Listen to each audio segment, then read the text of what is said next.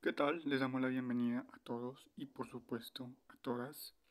En esta emisión les vamos a hablar de la primera filósofa que le arrojó su ropa interior a un discípulo.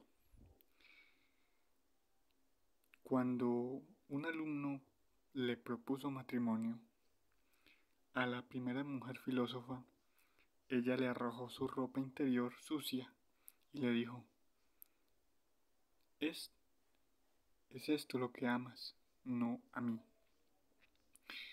Cuando era solo una niña, su padre la instruyó personalmente, pero cuando era adolescente ya lo había superado y era reconocida por todos los grandes filósofos, matemáticos y astrónomos de su época.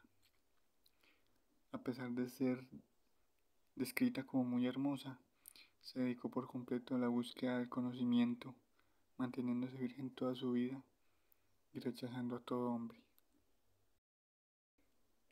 Va con cualquiera, decían, queriendo ensuciar su libertad. No parece mujer, decían, queriendo elogiar su inteligencia. Pero numerosos profesores, magistrados, filósofos y políticos acudían desde lejos a la escuela de Alejandría para escuchar su palabra.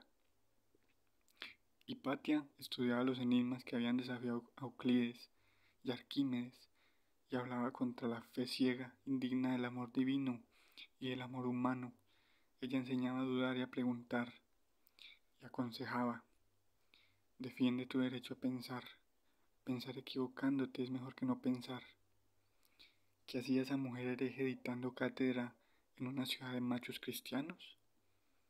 La llamaban bruja y hechicera, la amenazaban de muerte. Y un mediodía de marzo del 415, el gentío se le echó encima. Hipatia era tan brillante que llegó a dirigir la escuela platónica de Alejandría. Y cuando el gobernador romano de Egipto la conoció, se convirtió en uno de sus estudiantes más entusiastas.